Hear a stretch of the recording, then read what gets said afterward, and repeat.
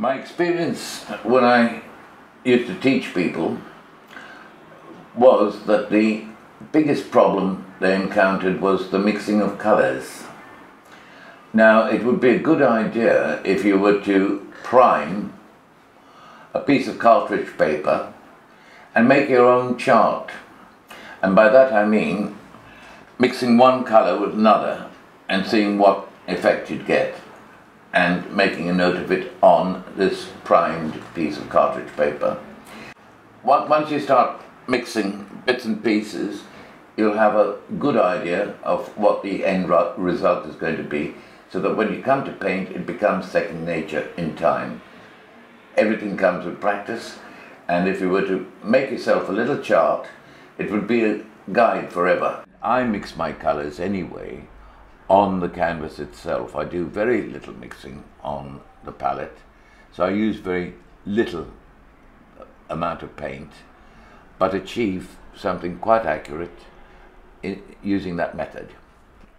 What I want to do today is to show you how to lay out a palette. You will be able to use these colors as I do, mixing them on the canvas uh, to achieve just the right tones. You must remember every action has a reaction and therefore if you do too much mixing, in my opinion, on the palette and think you're going to land it in a spot that has already got some color on it and achieve the right uh, effect, invariably it's going to be wrong. But if you inch your way gradually in thin veneers of, of color, changing the, the, the hue, you're more likely to achieve the right effect. The first color that I put on my palette is Naples Yellow Light. I use Naples Yellow Light as opposed to any of the flake whites or the white whites, you know, they're too chalky. Naples Yellow Light has a bit of yellow in it, and that's how I produce white tones. The next one, I use Naples Yellow. This helps with flesh tones. And you notice I don't use a lot of paint, I don't squeeze a lot of paint out on the palette, because I use very, very little paint as I go along. Now I'll put a drop of yellow ochre. You'll notice these are all grading of colors. A nice yellow. Now onto orange.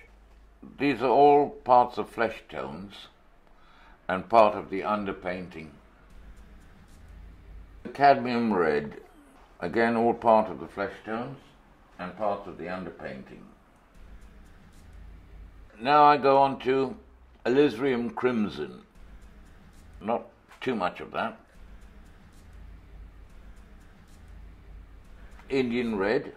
I use it for lining and signing. I always like to have a little bit of grey. This is like a recipe. It's all you need to say. And a pinch of salt. Cerulean blue. Very, very useful in flesh tones and skies.